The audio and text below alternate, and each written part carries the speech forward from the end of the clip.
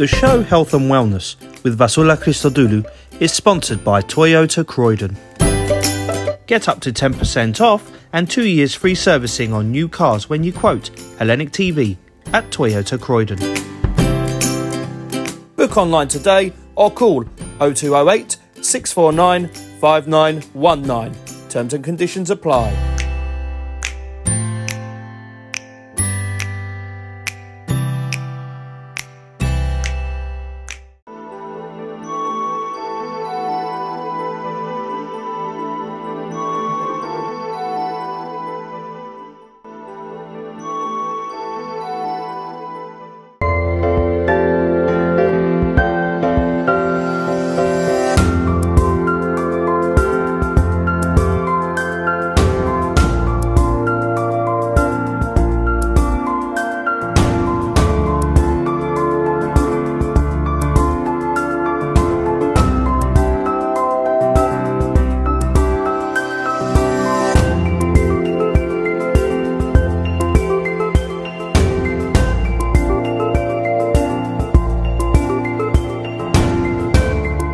Αγαπητοί φίλοι και φίλες, καλησπέρα. Καλωσορίσατε στην εκπομπή Υγεία και Ευεξία.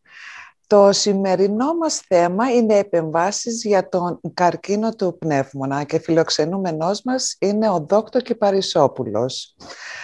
Πρέπει να πω ότι είναι με μεγάλη τιμή και ευγνωμοσύνη που καλωσορίζω τον Δόκτωρ Κυπαρισόπουλο γιατί αφού έχει κάνει πέντε χρόνια επιμελητής, θα με διορθώσει αν κάνω λάθος, στη Μεγάλη Βρετανία, ε, ο οποίος πραγματοποιούσε τις περισσότερες επεμβάσεις πάνω στην εξειδίκευσή του στο Πανεπιστημιακό Νοσοκομείο της Οξφόρδης και στο Harefield και μετά από πρόσκληση στην Κύπρο ε, το λέω και πραγματικά είναι κάτι πάρα πολύ σημαντικό, μεγάλη μας τιμή. Μετακόμισε στην Κύπρο, πήρε όλα τα, τα χρειαζόμενα τέλος πάντων πάνω στην εξειδίκευσή του και τώρα ε, λέει θέλει να βοηθήσει γενικά τον ελληνικό λαό. Γι' αυτό τον ευχαριστούμε πάρα πολύ μέσα από την καρδιά μας. Σας καλωσορίζουμε στην εκπομπή μας, Κυριακή Παρισόπουλε. Σε καλά. Εγώ σας ευχαριστώ πάρα πολύ για την πρόσκληση και πραγματικά μπορώ να σας πω ότι πέντε χρόνια πλέον στην Κύπρο μπορώ να πω με πολύ μεγάλη περηφάνεια ότι αυτό το πράγμα το καταφέραμε.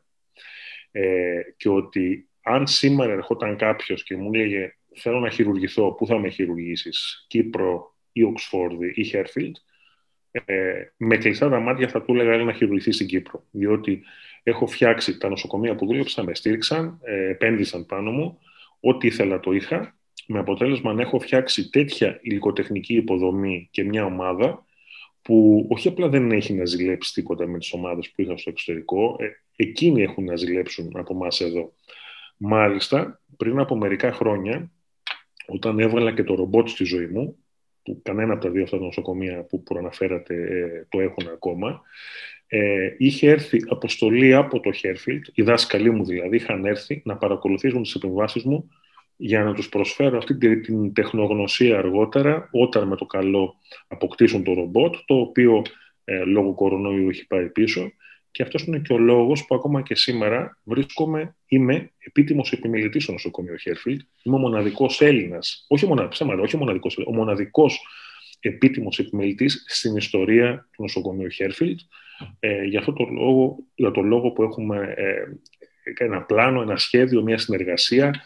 Ε, βρισκόμαστε σε, όχι, όχι καθημερινή, εβδομαδία επικοινωνία μαζί και ε, έχω πάρει τον πύχη και τον έχω βάλει πάρα πάρα πολύ ψηλά και είμαι πάρα πάρα πολύ περήφανος ε, για αυτά που έχουμε καταφέρει πλέον στον ε, ελληνικό χώρο. Δηλαδή οι καθηγητές σας, οι δασκάλοι σας μαθαίνουν από εσά τώρα. Ε, κατά κάποιο τρόπο ναι, ναι. και αυτό ξέρετε για ένα μαθητή είναι ό,τι μεγαλύ, η μεγαλύτερη ναι. τιμή που υπάρχει.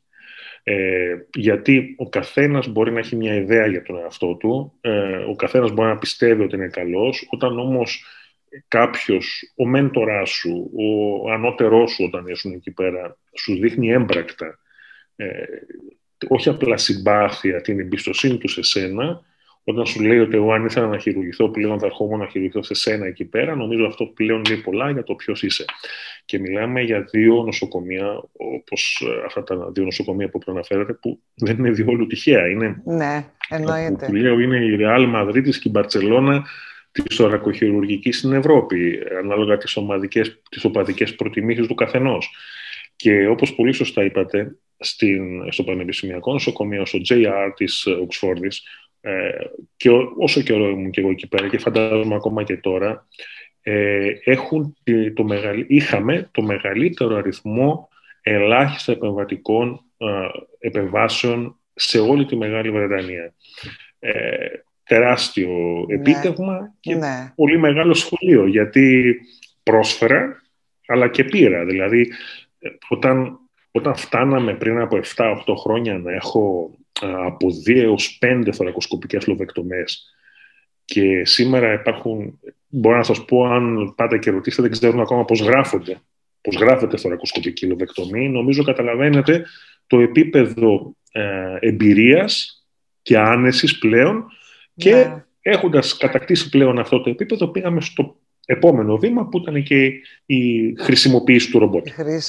Λοιπόν, ε, αν δεν κάνω λάθος, ο τίτλος σας όμως είναι χειρουργός ε, θώρακας, καρδιάς και μεγάλων αγγείων.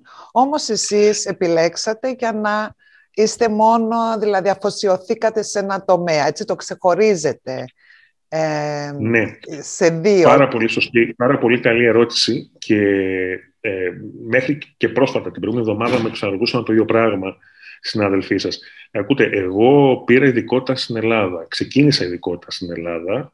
Ε, βέβαια, αμέσως μετακόμισα στο εξωτερικό, όμως τις εξετάσεις μου τις έδωσα στην Ελλάδα. Όποιος βγαίνει από την Ελλάδα για αυτή την ειδικότητα έχει τον τίτλο που αναφέρατε. Μάλιστα. Η Ελλάδα και η Κύπρος είναι οι δύο μοναδικές χώρες του πολιτισμένου κόσμου που αρνούνται να σπάσει η ειδικότητα.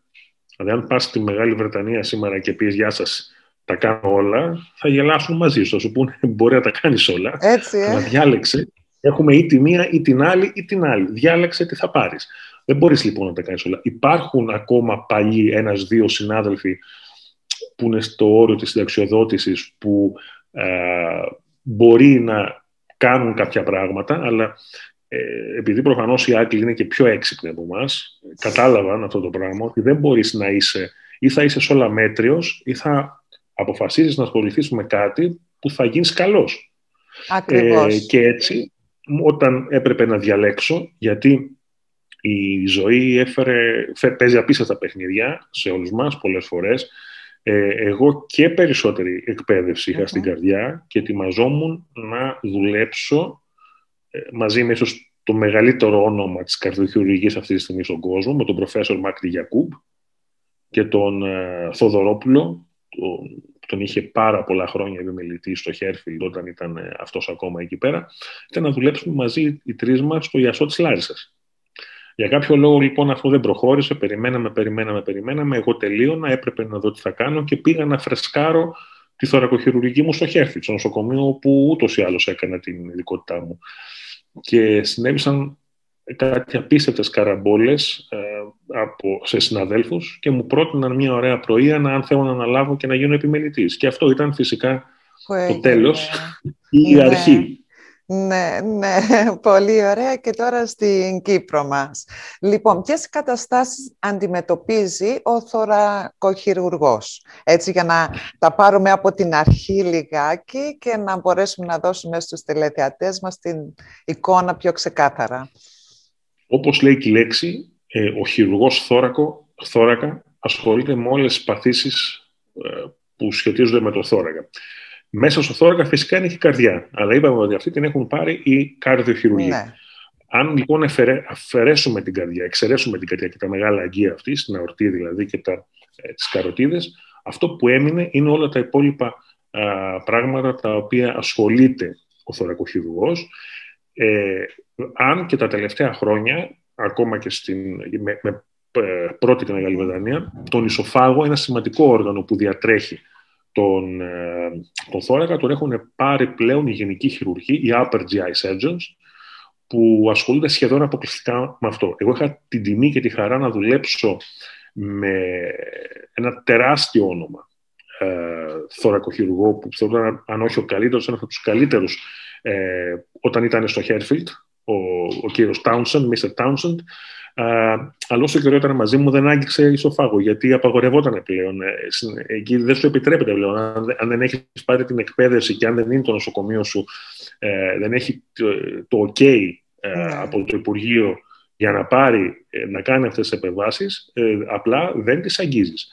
Με αποτέλεσμα η, η τεχνογνωσία και η εμπειρία πλέον χάνεται από και κάποιους που θα ήθελαν να ασχοληθούν, αλλά δεν τα κατάφεραν.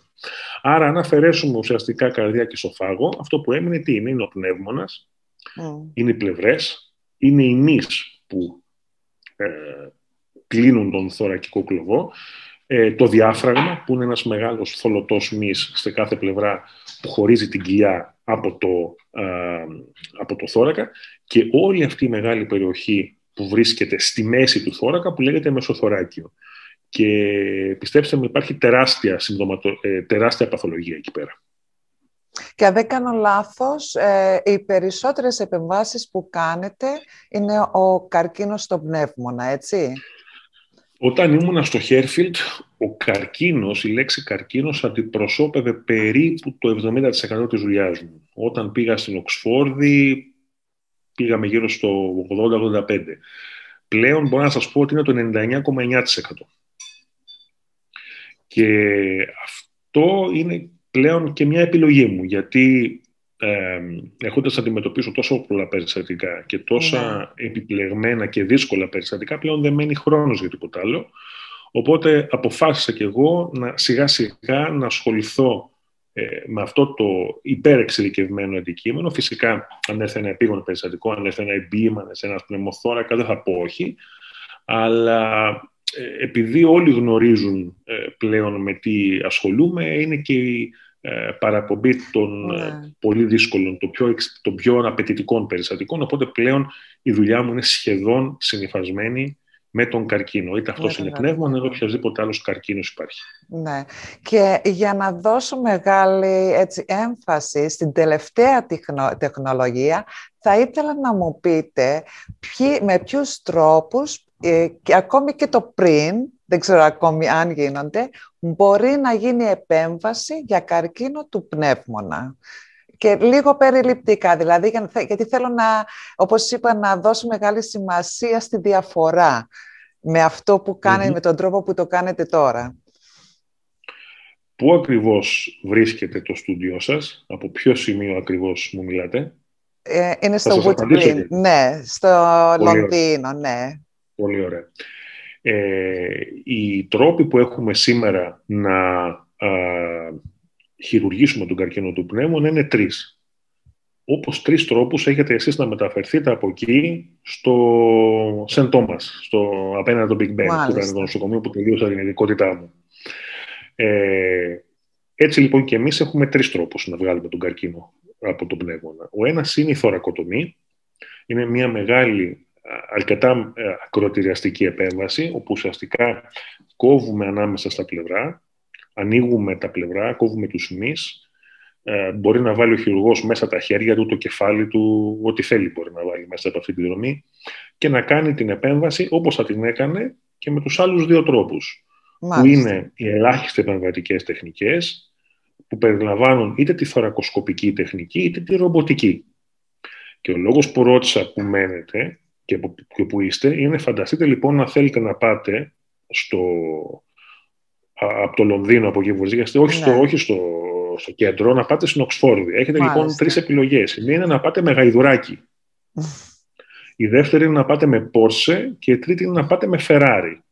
Φαντάζομαι μεταξύ της Φεράρι και της Πόρσε δεν θα έχετε και μεγάλη ναι. Δεν θα έχετε και μεγάλο πρόβλημα, έτσι. Αλλά ναι. φαντάζομαι ότι μεταξύ γαϊδουριού και Πόρσε και Ferrari θα υπάρχει σοβαρό θέμα. Έτσι. Ε, αυτό λοιπόν το παράδειγμα είναι το παράδειγμα που αναφέρω σε κάθε ασθενή μου όταν με ρωτάνε τον τρόπο που θέλω να του χειρουργήσω. Και πλέον είμαστε ε, κάποιοι, όχι πολλοί, είμαστε ελάχιστοι στον κόσμο. Εγώ είμαι ένας από αυτούς που μπορώ να προσφέρω, ε, να, να, να μεταφέρω τους ασθενείς μου και με την Πόρσα και με τη Ferrari.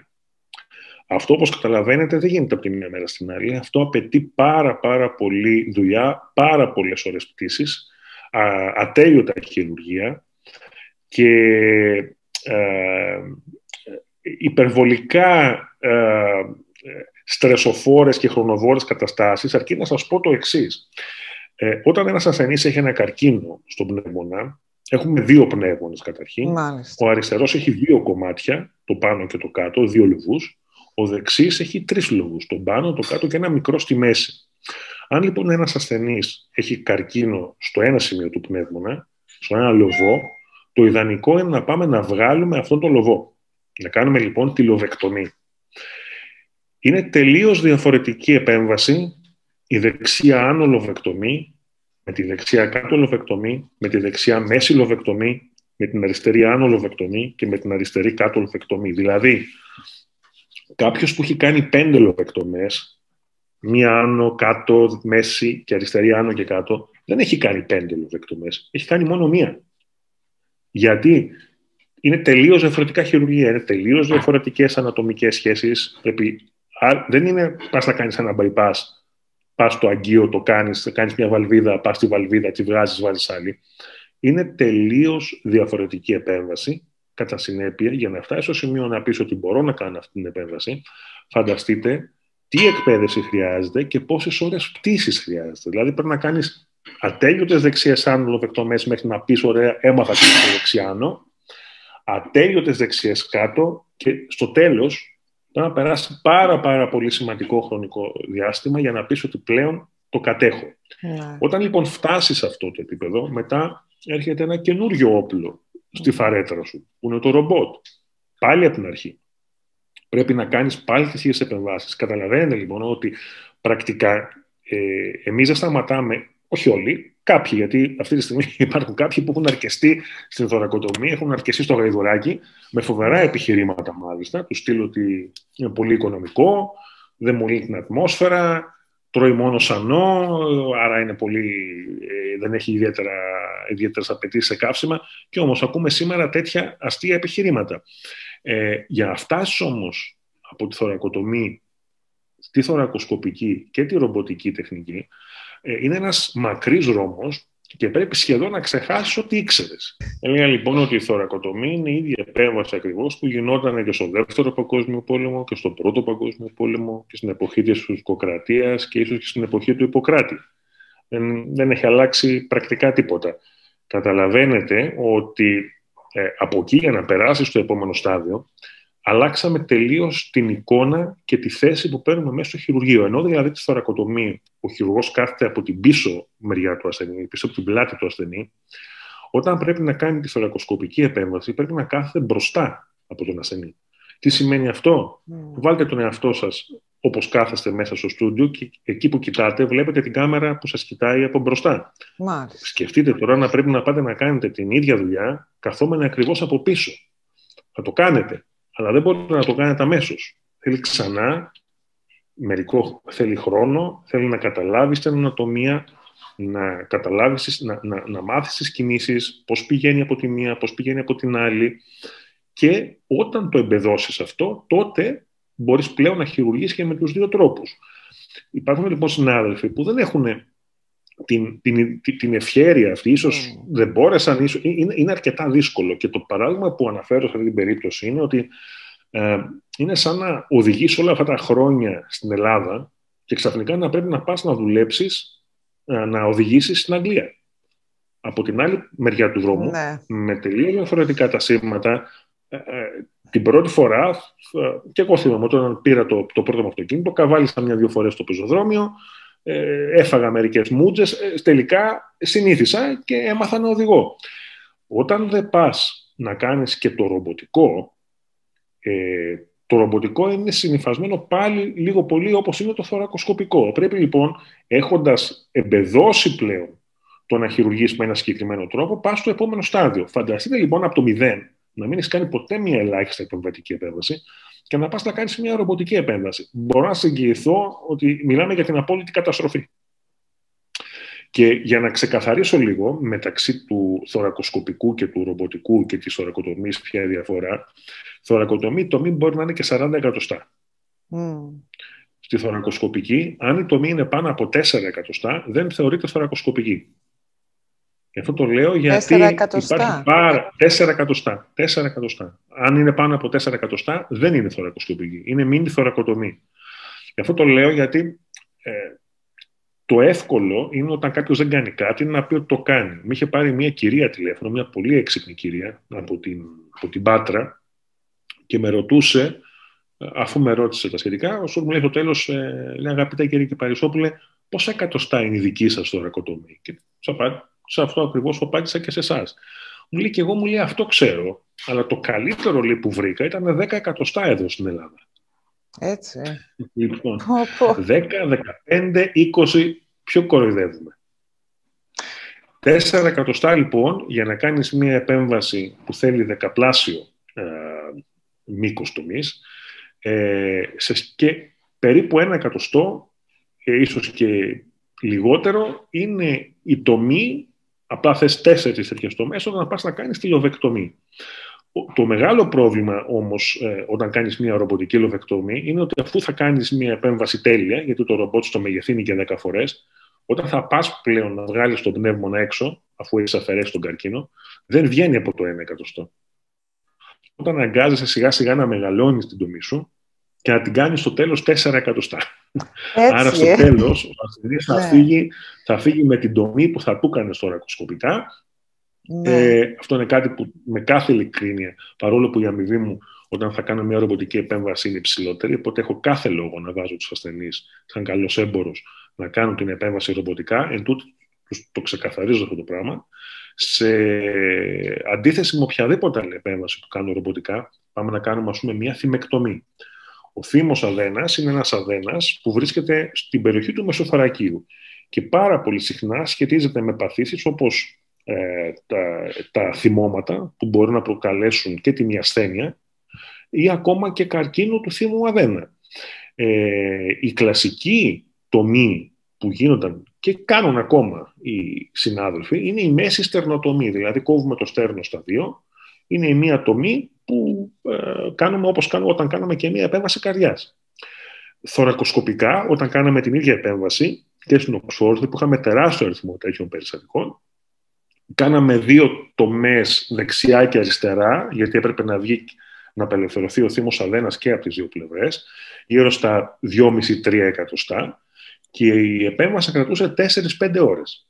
Ρομποτικά πλέον, γίνεται με μία τομή του ενός εκατοστού και δύο μικρότερες του μισού εκατοστού, μόνο από τη μία πλευρά και παίρνει περίπου μία ώρα. Μία ώρα. Και, ποιο είναι το διάστημα που μπορείτε να του δώσετε το εξιτήριο που μένει στο νοσοκομείο; Ε, αυτό είναι το επόμενο που θα έλεγα. Απλά έχω ακούσει, αλλά θέλω να σιγουρευτώ η αλήθεια. Ναι, Έτσι, να το αυτό είναι το επόμενο που θα σας έλεγα. Και εδώ πέρα είναι... Ε, γιατί και άλλοι μπορεί να κάνουν αυτές τις επεμβάσεις. Ε, όπως και ένα φαγητό μπορεί να το κάνει μια νοικοκυρά, μαθαίνει από την άλλη, ακούει, το έκανε και άλλη και μπορεί να το κάνει. Απλά δεν, δεν ξέρω αν μπορεί να το κάνει το ίδιο καλά. Η δουλειά μου λοιπόν δεν είναι να πάρω που, που πήρα μια επέμβαση και την έκανα και εγώ όπως την έκανα άλλοι. Το έκανα αυτό στην αρχή, το έκανα στις πρώτες 50, 100, 200, 300 επεμβάσεις.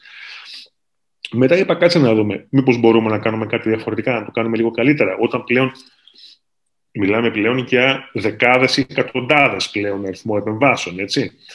Και αυτό λοιπόν που δειλά-δειλά ξεκίνησα στην αρχή με διάφορους ε, πειρασματισμούς εντός εισαγωγικών όσον αφορά την προστασία των ιστών περισσότερο από ό,τι θα έπρεπε, έχω φτάσει σε σημείο οι ασθενείς μου να φεύγουν την επόμενη μέρα. Να φεύγουν 24 ώρες μετά. Την προηγούμενη εβδομάδα ε, έδωσα εξιτήριο σε ασθενή ακριβώς 24 ώρες, αφού περιμέναμε 5 ώρες να, να κατουρίσει, γιατί είχε ένα πρόβλημα με τον μπροστά του, θα τον είχα βγάλει δηλαδή από τις 18 ώρες. Ε, φτάσουμε σε σημείο δηλαδή να, κάνουμε, να, να, λέμε να μιλάμε σε λίγο για day case, δηλαδή να μπαίνει το πρωί και να φεύγει το βράδυ. Να φεύγει το βράδυ. Αυτά, αυτά τα πράγματα είναι, είναι ασύλληπτα. Είναι απίστευτο. Είναι απίστευτο. Και ειδικά όταν ακούν αυτή τη συζήτηση κάποιοι άνθρωποι, ε, εγώ έχω, το έχω συναντήσει πάρα, πάρα πολλές φορές. Έρχονται σε μένα και ε, μπαίνουν λίγο προβληματισμένοι και με ένα έτσι. Με ένα ύφος, σαν να σου λέει, μας κοροϊδεύεις, γιατί εγώ ρώτησα τον τάδε και εμένα το έκανε ο πατέρας μου, αλλά επειδή αυτά που λέμε, αυτά που λέω, τα γράφω ε, και ε, ε, εγώ δεν, δεν προδίδω, ούτε απαγορεύεται εξάλλου να πω το όνομα του ασθενούς. Βέβαια όμως οι ασθενείς μου από κάτω, ειδικά κάθε φορά, γιατί από τους, στους 10 ασθενείς που έχω, στους, στους 10 φίλους που έχω πλέον στο Facebook, οι 7 είναι ασθενείς μου. Βγαίνουν λοιπόν όλοι κάτω και αρχίζουν, και αρχίζουν γιατί πλέον με τους ασθενείς είμαι πραγματικά φίλος, γινόμαστε οικογένεια. Και επιβεβαιώνουν αυτά ότι όντως γίνονται. Και υπάρχουν μέσα εκεί πέρα άνθρωποι οι οποίοι είχαν την ατυχία να υποστούν τη μία επέμβαση πριν με γνωρίσουν, οπότε έφαγαν και μία θωρακοτομή πριν. Ναι. Και χρειάστηκε μετά να κάνουν και μία θωρακοσκοπική ρομποτική επέμβαση. Οπότε στο ίδιο τους το πετσί που λέμε, έχουν βιώσει και τη μία και την άλλη επέμβαση. Αυτοί λοιπόν οι άνθρωποι είναι καλύτεροι να πούνε τι σημαίνει μία επέμβαση και τι σημαίνει άλλη. Γιατί Ακριβώς. το να προσφέρει σε κάποιον κάτι να μην πονέσει καθόλου με, κάποιους, με κάποια κολπάκια που κάνουμε στο τέλος της επέμβασης και να φύγεις 24 ώρες, αυτός μπορεί να το θεωρεί ότι είναι και δεδομένο. Μου είχε πει ο ανεσιολόγο μου πολύ εύστοχα ότι για αιμορροίδε έρχονται οι ασθενείς και κάθονται παραπάνω μέρες. Και εσύ κάνεις την επέμβαση ναι. αυτή και ναι. φεύγουν ναι. νωρίτερα.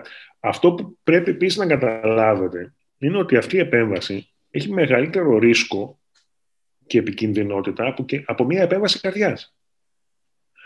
Και ο λόγος είναι ότι όταν επεμβαίνεις στον πνεύμονα, δεν επεμβαίνεις μόνο στον πνεύμονα, επεμβαίνεις και στην καρδιά. Γιατί άμα πάω και βγάλω το δεξί κάτω λοβό, παραδείγματος χάρη, ή τον αριστερό κάτω λοβό, που είναι το, το 25% του πνεύμονά μας, την ώρα που εγώ θα κόψω το αγκείο, η καρδιά έστερνε και έπαιρνε δύο λίτρα, ας πούμε, αίμα και ξαφνικά αυτό γίνεται ένα. Οπότε σου λέει τι γίνεται τώρα; Θέλει λοιπόν ο οργανισμός το χρόνο, κάποιο χρόνο να α, ανταπεξέλθει σε αυτές τις αλλαγές ε, και καθώς ε, επεμβαίνουμε σε, σε δύο συστήματα ουσιαστικά, όχι ένα, αυτό το πράγμα το κάνει πιο επικίνδυνο και πιο δύσκολο. Σίγουρα. Υπάρχει και ένας άλλος λόγος. Ότι οι ασθενείς μου, αυτοί οι ασθενείς που αναφέρομαι, είναι κατά κανόνα καρκινοπαθείς. Δηλαδή, στις χίλιες επεμβάσεις, οι 999 λοβεκτομές που έχω κάνει είναι για καρκίνο του πνεύμα. Ναι. Ένας καρκινοπαθής που μπαίνει στο χειρουργείο δεν είναι ένας 20χρονο μαραθωνοδρόμος ή αθλητής ε, ναι. ή έτσι, είναι ένας επηρεασμένος ασθενής. Κάποιοι από αυτούς έχουν πάρει και ε, κάποιο είδους θεραπεία πριν το χειρουργείο και είναι σε ακόμα χειρότερη κατάσταση. Δεν είναι λοιπόν οι ιδανικοί ασθενείς. Σε αυτούς λοιπόν τους ασθενείς έχουμε φτάσει εμείς στο σημείο να τους στέλνουμε σπίτι 24 ώρες μετά. Και αν δεν τους στείλουμε 24 και τους στείλουμε στις 36 και τις 48, εγώ προσωπικά δεν μιλιέμαι. Η γυναίκα μου ε, εκνευρίζεται μαζί μου, γιατί λέμε αν είναι δυνατόν, είναι χαριστία. Και όμως έχουμε φτάσει σε τέτοιο σημείο πλέον που ε, όταν κάτι είναι ρουτίνα για σένα και πλέον δεν γίνει ρουτίνα, ε, ναι. εκνευρίζεται. Ναι. Γιατρέ, επίσης θέλω και κάτι άλλο να μου ε, έτσι διαπιστώσετε, ότι έχω ακούσει ότι κάποιοι ασθενείς θεωρήθηκαν ανεχείρητοι από κάπου αλλού. Και μετά όταν ήρθαν σε εσάς, ε, εντελώς διαφορετική γνώμη, τους εγχειρήσατε και ήταν μια χαρά. Ας ισχύει αυτό; Ε, όχι απλά ισχύει, αλλά ε, είμαι υποχρεωμένος και το έχω πάρει πραγματικά ηλυμένη απόφαση να αλλάξω και τακτική. Ε, και να αλλάξω τακτική ε, απέναντι σε κάποιους πολύ κακούς συναδέλφους που χωρίς πολλά πολλά ε, καταδικάζουν σε θάνατο τους ασθενείς τους. Ε, έχω πάρα πολλά παραδείγματα το προηγούμενο περιστατικό μου ήταν έτσι, το επόμενο περιστατικό μου ήταν έτσι, το, το περιστατικό που χειρού αύριο, ε, το τι ψέματα έχουν φτάσει και τους έχουν πει, μέχρι που πήγαν και ζήτησαν μια βεβαίωση και τελικά αποφάσισαν ότι ο ασθενής λέει είναι στάδιο 4, μα τους λέει η κόρη τη Δευτέρα ήμασταν στάδιο 2, τώρα γίναμε στάδιο 4 μέσα σε δύο μέρες, ακούτε να δείτε. Ε, η λέξη ανεγχείρητο είναι μια πάρα πολύ βαριά λέξη ε, σημαίνει ότι δεν μπορεί ο ασθενής να χειρουργηθεί. Ναι.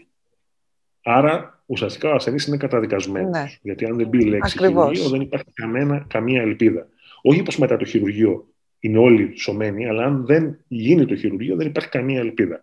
Και αυτό αφορά όλους τους καρκίνους, με εξαίρεση τους σωματολογικούς καρκίνους, δηλαδή τα λεμφώματα, τις λευχαιμίες κλπ. Ε, το να πεις λοιπόν ότι ένας ασθενής είναι ανεχείρητος, ε, μπορεί να είναι ανεχείρητο για δύο λόγους. Ο ένας είναι ότι έχει μεταστάσεις. Που ακόμα και εδώ πλέον υπάρχει πάρα πολύ μεγάλη συζήτηση, γιατί έχουν έρθει ίδιοι ογκολόγοι mm. και μας έχουν πει ότι ακούτε να δείτε, μέχρι 7 μεταστάσεις είναι ολιγομεταστατική νόσος και πρέπει να χειρουργείτε. Αν έχετε μπει στη σελίδα μου, το πρώτο περιστατικό μου στην Κύπρο έχουν περάσει ήδη πέντε χρόνια ασθενείς με μονήρη μετάσταση στο λαγόνιο στο, κρίθηκαν εγχείρητο, πήρε θεραπεία που πήρε, έπαιρνε χάπια, μέχρι που ο ογκολόγος του με βρήκε και μου είπε: Σε παρακαλώ, θέλω να κάνεις κάτι. Μπορείς να κάνεις κάτι. Και του είπα: Φυσικά. Πέρασαν λοιπόν πέντε χρόνια. Πρώτα αντιμετωπίστηκε η μετάσταση. Η μετάσταση αυτή νεκρώθηκε. Στη συνέχεια του έκανα εγώ την επέμβαση για τον πνεύμονα και ο ασθενής έχει βγει πλέον από την πενταετία, που σημαίνει ότι δεν τον κοιτάμε πλέον, δεν, δεν είναι καν σε παρακολούθηση. Άρα αυτός ο ασθενής, με βάση τα ιατρικά δεδομένα, είναι αυτό που λέμε survivor. Έχει ζήσει, ναι. τη ζήσα του. Ναι. Θεραπεύτηκε, πετύχαμε πληρίωση. Ναι. Πάτε λοιπόν. Είναι, να, αυτό που πρέπει να, να παίρνουμε. Να, να, μην τους βάλω όλους στην ναι. Ελλάδα, αλλά πάτε και πείτε ότι ξέρεις, έχω ένα ασθενή που έχει μία μετάσταση στο, στο τι γίνεται. Θα σου πούνε όλοι όχι όλοι. Ένας θα βρεθεί να πει ναι. όχι. Α, είσαι στα 2-4, πρέπει να πάρεις αυτή τη θεραπεία. Αυτό λοιπόν είναι λάθος. Ε, η, η μία λοιπόν περίπτωση που ο ασθενής δεν μπορεί να χειρουργηθεί είναι ότι πραγματικά υπάρχουν σαφή κριτήρια, τα οποία είναι τα περίφημα guidelines, περίφημες κατευθυντήριες γραμμές, που είτε για γιατρός αν είσαι, είτε ε, ασθενής αν είσαι, μπορείς να μπεις εκεί μέσα και να δεις αν πληρείς ή δεν πληρείς αυτά τα κριτήρια. Αν λοιπόν μπορούμε να προχωρήσουμε στο χειρουργείο, το ερώτημα μετά είναι αν λόγω θέσης μπορώ εγώ σαν χειρουργός να το βγάλω. Προφανώς, ένας έμπειρος χειρουργός μπορεί να κάνει πολύ περισσότερα πράγματα από έναν ναι. άπειρο χειρουργό. Υπάρχουν λοιπόν περιπτώσεις που λένε δεν γίνεται. Γιατί, ναι. γιατί δεν γίνεται, γιατί είναι πάνω στην αρτηρία και θα πεθάνεις άμα γίνει. Ποιος το λέει αυτό; Αυτό είναι που δείχνει ότι πρέπει πάντα να παίρνουμε δεύτερη γνώμη. Πρέπει να παίρνουμε όχι δύο, δώδεκα γνώμες. Δώδεκα γνώμες, πρέπει να ναι. παίρνουμε, Και πρέπει να παίρνουμε γνώμες από α, ανθρώπους που έχουν μια καλή μαρτυρία. Ακριβώς, ναι. ναι. Έτσι. Γιατί ε, όπως λέω αυτά που λέω για κάποιους κακούς ογκολόγους, έτσι υπάρχουν και κακοί χειρουργοί. Να μην νομίζετε ναι, ότι εμείς είμαστε άγιοι. Ναι. Ε, πριν από ε, λιγότερο από μήνα είχα ένα μήνυμα στο τηλέφωνο μου, ήταν Σαββατοκύριακο, Σαββατοκύριακο προσπαθώ να μην ε, ασχολούμαι με περιστατικά και το είδα έτσι τη Δευτέρα. Πήρα λοιπόν να απαντήσω ε, στο μήνυμα. Ήταν η κόρη μιας κυρίας που είχε έρθει από Ελλάδα ε, για να χειρουργηθεί, είχε όμως ένα έβριμα σε ένα λεμφαδένα Προσπάθησα να οργανώσω μια βιοψία στην Ελλάδα και κανένας δεν μπορούσε να αναλάβει ή να καταλάβει να θέλει να βοηθήσει, εν πάση περιπτώσει. Με μεγάλη λύπη της είπα: Κοίταξε, αφού δεν μπορώ να σε βοηθήσω, μπορώ να σου κανονίσω να έρθει εδώ πέρα, αλλά σου ξεκαθαρίζω ότι αν αυτός ο λεμφαδένας είχε ένα πολύ μικρό καρκίνο στον αριστερό κάτω λοβό και ένα λεμφαδένα δεξιά στον τράχυλο. Η μοναδική περίπτωση που θα μπορούσε να, να είναι πραγματικά ανεχείρητη είναι αν αυτός ο λεμφαδένας στον τράχυλο ήταν, ε, είχε καρκίνο που είναι ένα σενάριο που το βλέπουμε αρκετά ναι. σε καρκίνους του κάτω λογού. Την έφερα λοιπόν τη γυναίκα, της έκανα, την έστειλα κάπου να κάνει τη βιοψία και δυστυχώς ο λεμφαδένας βγήκε θετικός. Τη είπα λοιπόν, με πολύ μεγάλη λύπη, δεν μπορώ ναι. να σε βοηθήσω. Δεν έχει νόημα, δηλαδή. Μπορώ ναι. να σε χειρουργήσω. Ναι. Είναι αστείο το χειρουργήσω. Ναι. Αλλά είτε σε χειρουργήσω είτε δεν σε χειρουργήσω. Δεν θα έχει την ίδια μέρα. Ναι. Έφυγε λοιπόν η γυναίκα, ναι. αποφάσισε μάλιστα να μην κάνει τίποτα μέχρι που πριν ε, από 1,5-2 μήνες περίπου άρχισε να ζαλίζεται και να παραπατάει. Ε, πήγε στο νοσοκομείο, της κάνανε αξονική εγκεφάλου, είχε πολλαπλές ε, εγκεφαλικές μεταστάσεις. Της κάνανε ξανά κάποιον... Είναι, είναι η φυσιολογική πορεία αυτό που θα ναι. περίμενες να γίνει εφόσον δεν χειρουργήθηκε ο καρκίνος. Ναι. Και βρέθηκε και μία μετάσταση στο επινεφρίδιο και μία-δυο μεταστάσεις στα οστά. Και τότε βρήκε κάποιον που της είπε ότι κοίταξε πρέπει να σου βγάλω τον καρκίνο από τον πνεύμονα γιατί έτσι και έτσι και έτσι, το οποίο είναι ανήθικο. Δηλαδή θέλω να σας πω, μην Ναι, κατηγορούμε. σίγουρα. Υπάρχουν, υπάρχουν και καλοί και κακοί σε Ναι, κάθε ειδικότητα, έτσι όπως σε είναι. κάθε, σε κάθε επάγγελμα, έτσι. Ακριβώς. Ε, γι' αυτό λοιπόν χρειάζεται πάρα πολύ μεγάλη προσοχή. Είναι απόφαση ζωής αυτή. Και ε, αυτό που μετράει δεν είναι ε, ποιος βγαίνει από τα διάφορα παπαγαλάκια ή ποιος σου Ναι. συστήνει ο ένας και ο άλλος. Νομίζω ότι άμα ψάξει αυτή τη στιγμή... Να ψάξει κανείς σωστά. Ακριβώς. Γιατρέ, ε, πριν ξέρεις κλείσουμε... και μπορείς να καταλάβεις. Και σίγουρα. μπορείς να καταλάβεις. Και μπορείς να καταλάβεις Μπράβο. αν αυτός που βλέπεις ή που διαβάζεις το βιογραφικό σου ή κάθεται απέναντί σου ή βλέπεις 15-20 σχόλια, γιατί αν χειρουργούσα κι εγώ αυτά που ε, άμα, άμα σας δείξω τον αριθμό των mail και των εξτάσεων που παίρνω κάθε μέρα, δε- δεν μου φτάνουν 24 ώρες. Αν λοιπόν τα χειρουργούσα όλα αυτά, θα ήμουν πάρα πολύ πλούσιος, Ναι. αλλά δεν θα ήμουν καλός άνθρωπος. Ακριβώς. Και σημαντικό είναι να είμαστε εντάξει με τον εαυτό μας. Πριν κλείσουμε, θα ήθελα να μας Ακριβώς. πείτε για αυτή την επέμβαση που έγινε για πρώτη φορά από εσάς και την ομάδα σας, αν δεν κάνω λάθος, στην Κύπρο. Δηλαδή σε όλο τον κόσμο, αυτή την επέμβαση την κάνατε εσείς για πρώτη φορά. Αυτή η επέμβαση που μάλιστα α, δημοσιεύθηκε στο μεγαλύτερο περιοδικό της ειδικότητάς μου ε, στον κόσμο, που είναι το CTS.net με έδρα την Αμερική, είναι μια επέμβαση που κάναμε πριν από δύο χρόνια με την ομάδα μου και αφορά την αντιμετώπιση μιας ε, σχετικά συνηθισμένης πάθησης που είναι η περιδροσία. Ε, ειδικά στην Ελλάδα είναι αρκετό έντονο, όπως και στην Κύπρο το φαινόμενο, που ε, οι, οι άτυχοι που πάσχουν από αυτή την, ε, την ασθένεια υδρώνουν σε βαθμό που δεν μπορείτε να φανταστείτε. Δηλαδή, μιλάμε για να έχει, σαν να έχεις, να έχεις τη βρύση Τη βρύση. και στάζει ο υδρότας. Με αποτέλεσμα αυτή η κατάσταση να α, έχει καταστρέψει τη ζωή τους, να τους, δημιουργεί, να τους στέλνει πρώτα στον ψυχίατρο και μετά στον, στο, για- στον, για- στους γιατρούς των άλλων ειδικοτήτων.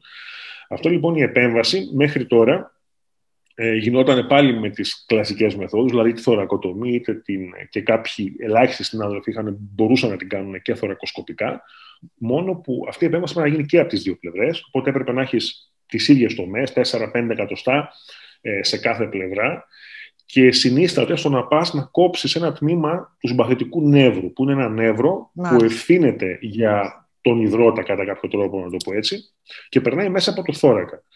Ε, σκεφτήκαμε λοιπόν με την ομάδα μου, με ένα περιστατικό ενός νεαρού, εφόσον πλέον είχαμε αποκτήσει την τεχνογνωσία και μπορούσαμε να κάνουμε, γιατί έχουμε κάνει όλη την γάμα των επεμβάσεων. Μπορούμε να έχουμε μερικές επεμβάσεις πλέον και με κλειστά τα μάτια. Και είπαμε, γιατί δεν την κάνουμε αυτή την επέμβαση, να την κάνουμε και ρομποτικά; Ε, πριν το κάνω, κοίταξα και τη βιβλιογραφία, δεν υπήρχε πουθενά αυτή η επέμβαση ε, με τη χρήση του ρομπότ. Και ήρθε ο ασθενής, του εξήγησα την κατάσταση, του είπα ότι μπορώ να το κάνω. Και όχι απλά το έκανα, τελείωσα την επέμβαση σε 17 λεπτά. Που 17 λεπτά είναι αυτό που 17 λέμε, μην το πείτε ούτε στον παπά. Ε, είναι αναρτημένη αυτή η επέμβαση και στην προσωπική μου ιστοσελίδα, αλλά και στη σελίδα του CTS.net, που όπως ξαναείπα είναι το μεγαλύτερο περιοδικό στον κόσμο, δηλαδή να πας να δημοσιεύσεις εκεί πέρα κάτι και μάλιστα πριν από λίγο καιρό δημοσίευσαν δεύτερη επέμβασή μας για ε, μια επέμβαση του καρκίνου του πνεύμονα, ε, λέει πολλά. Και το αποτέλεσμα φυσικά Σίγουρα. ήταν ε, ο ασθενής φυσικά έφυγε 16-17 ώρες μετά την επέμβαση, δεν ξαναείδρωσε ποτέ και τόσο αυτός όσο και εμείς γίναμε διπλά χαρούμενοι γιατί Εννοείται. Το να, το να φτάνεις, όταν, όταν ανέβηκε αυτή η επέμβαση το CTS.net, χτυπούσε το τηλέφωνο από όλο τον κόσμο.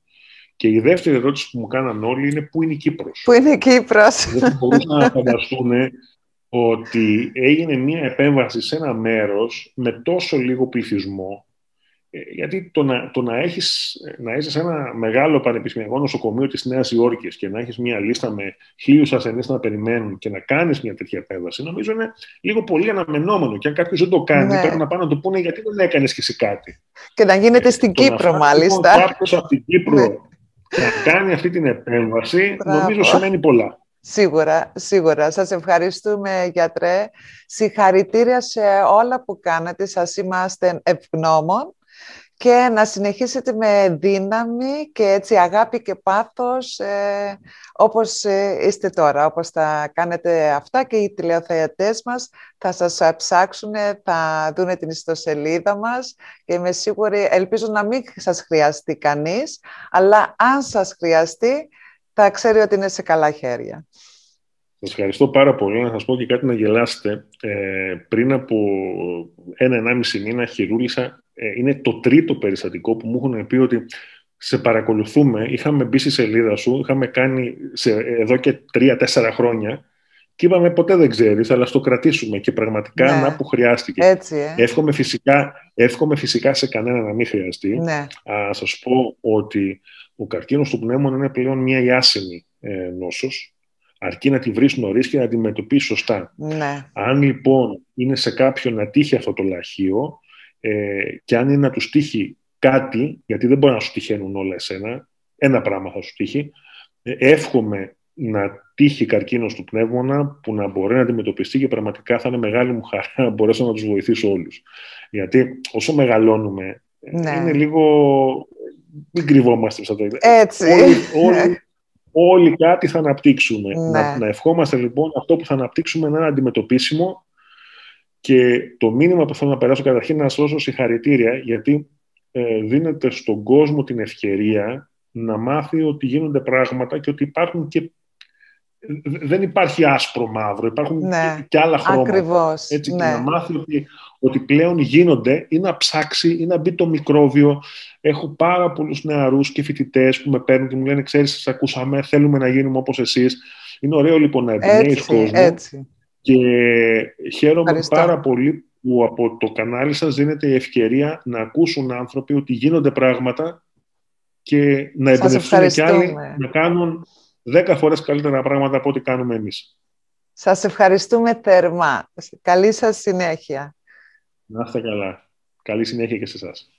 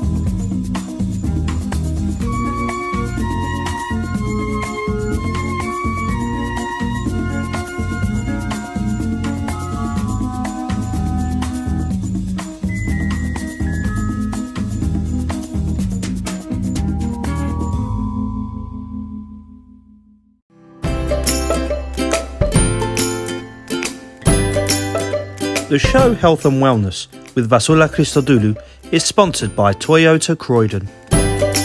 Get up to 10% off and two years free servicing on new cars when you quote Hellenic TV at Toyota Croydon. Book online today or call 0208 649 5919. Terms and conditions apply.